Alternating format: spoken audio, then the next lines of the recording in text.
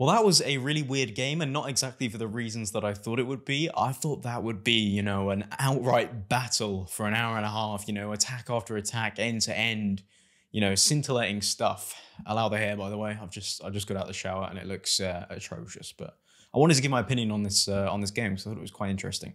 But sorry, diverting there. But we just did not get that. We did not get the kind of end to end aggressive game that I thought we were going to get. And um, I have to say, well played to Arteta. I have to say it because his game plan, he executed it absolutely perfectly. You have to give it to him. You know, he didn't have Odegaard, he didn't have Rice, and he knew that he was going to have to play a different way to how he would normally play. He couldn't be as aggressive. He couldn't push as high up the pitch, you know, without Declan Rice coming in and, you know, clearing up those loose balls. He can't be as aggressive. And Odegaard, you know, without Odegaard, there's that's a lot of creativity in that side that is gone. And he knew that, and um, he executed his plan to perfection.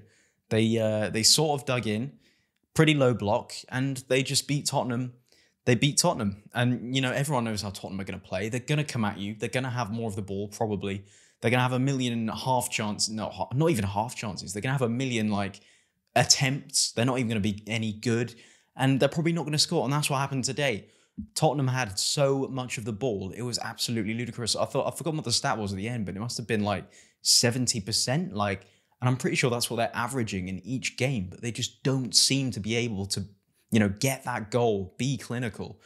And it's funny to me because I heard um I heard Heung-min Son, Son Heung-min, after the game coming out and saying that the manager had told him not to shoot, you know, to when he gets into those sort of oh, sorry, when he gets into those sort of positions, not to shoot you know. And I was thinking to myself, what? That is that is Son Heung-min's best trait is shooting.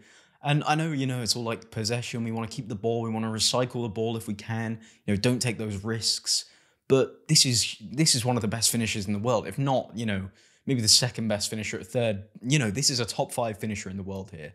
And telling him not to shoot when he gets into those positions is just crazy to me. Uh, that's what I saw in the post game, anyway.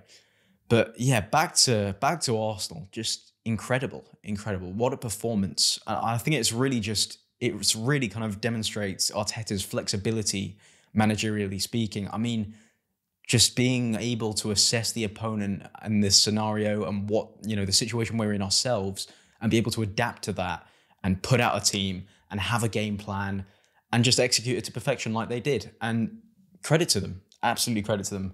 Credit to Gabriel as well. I thought Gabriel was fantastic in that game. Uh, apart from the goal, I thought he was great.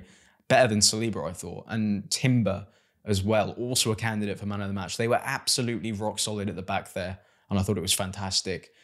Spurs, Spurs are just. I feel really bad for Spurs fans. I, I don't envy them at all. They they really have it rough, don't they? I mean, I feel like I've watched two or three of their games so far this season, that being one of them, and it feels like the same story every time. And that that was just the combination of it all, really, in such a big game, being so dominant, having so much of the ball, you know, being so high up the pitch.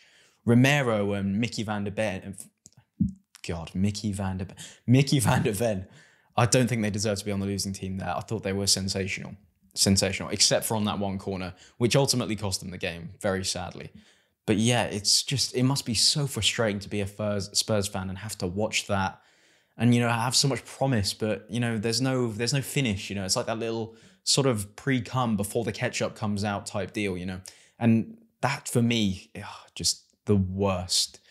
And i think i think Postecoglou as well is you know what's going on there? Is his time coming to an end? What do you think? Because you know he's had a year he started off so well in the league last year they were unbeaten for about nine games but now it's all just sort of come crumbling apart.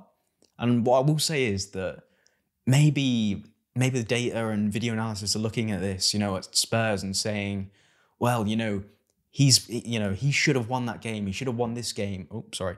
He should have won that game. He should have, you know, maybe done better in this game. Maybe he's just being unlucky, and that is definitely a factor in football because Spurs controlled that game for the large part. They do have to work on their set pieces, but ultimately a very disappointing result for Spurs fans, and I do feel for them. For Arsenal, though, it's it's absolutely fantastic, isn't it? I mean, after that shaky uh, Rice red card, well, yellow card, second yellow card against Brighton, that is exactly what they needed, isn't it? You know, no Rice, no no Odegaard. They must be on cloud nine. feeling incredible because, you know, what a performance, what a team performance. They really deserved that. And, you know, they could have had a few more as well playing like that. I remember Martinelli sort of being in on goal one time and, you know, curling a shot straight into the hands of Vicario when he could have just laid it into Saka.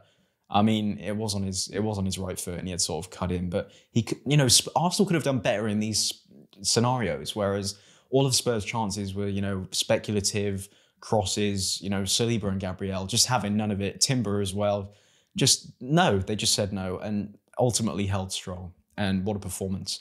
And they are ultimately in the title race once again, as they probably should be. Let me know what you thought in the comments down below though, and maybe check out this video if you like that. Just me sort of talking to the camera, giving my thoughts on games like this. And maybe I'll see you next time.